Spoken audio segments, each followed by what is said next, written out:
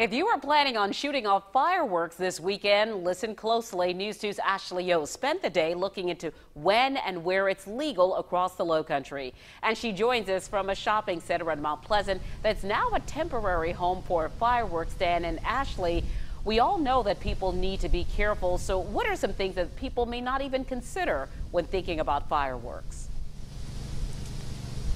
Well, Carolyn, if you guys want to pick up some of these and shoot them off in Hanahan or Summerville, you've got a time window when you can do that. In Hanahan, 10 a.m. to midnight, and that's new this year. Summerville, 10 a.m. to 1 a.m. In Goose Creek, you can shoot them off on the 4th, but that's it. Not on the 3rd, not on the 5th. But if you live in one of those unincorporated parts of a county, Dorchester, Berkeley, or Charleston, have at it. Go see the fireworks?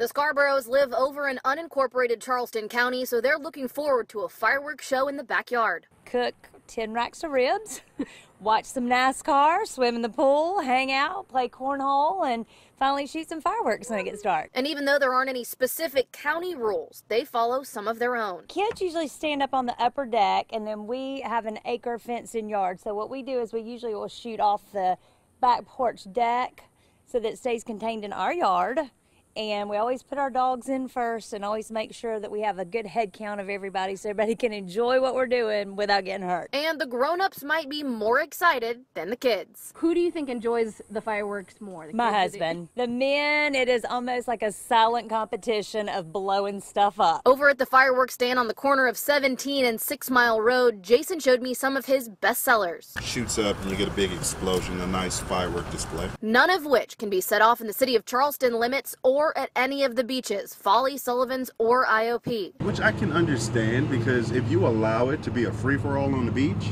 most people are going to shoot them off and just leave the trash. And not to mention if the stuff starts to get in the ocean, how it's going to pollute the, the ocean. He also reminds people one night of fun isn't worth risking your safety. It's very easy, but you just have to make sure you're safe doing it. And even six-year-old Carly knows why. Are they pretty dangerous?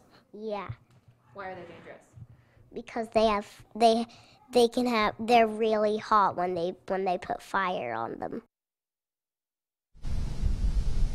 really hot when you put fire on them. And coming up at 6 o'clock, we're going to let you know of a situation where it's not just illegal, but it's a federal crime to shoot off fireworks no matter where you are in the low country. We'll let you know where that is at 614. Live right now in Mount Pleasant, I'm Ashley Yost, News 2.